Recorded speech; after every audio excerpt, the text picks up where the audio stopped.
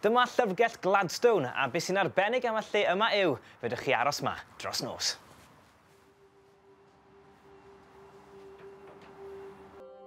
Dim rhaid i chi fod yn dawel ym mhob man ac am risiau crand mawreddog i'ch croesawu chi i'ch stafell. Mae yna gyfuniad o'r hen a'r modern yma ac mae yna groeso gan y dyn i hun, Mr Gladstone.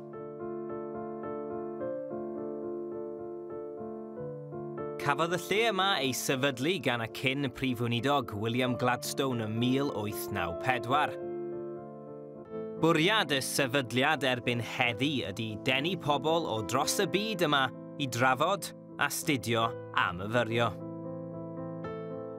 Mae'r awyrgylch yn gyfuniad perffaith o'r academaidd a'r cymdeithasol. Y peth mwyaf arbennig ydy ei fod yn lyfrgell preswyl – 26 stafell wely wedi cynllunio'n gelfydd. Mae thema'r llyfrgell yn parhau ar y papur wal. Mae'r stafell yma yn glid, mae'n dawel ac yn heddychlon. A beth sy'n helpu hynny, does dim tyledu. Felly'r lle perffaith i synfyfyrio.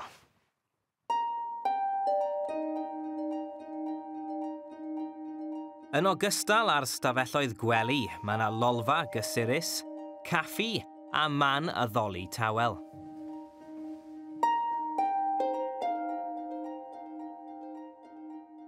Mae'r llyfrgell ei hun yn stafell drawiadol ar ffurf neuadd fawreddog. Y lle perffaith i astudio ac ymgolli, yng ngeiriau pobl llawer mwy doeth na fi.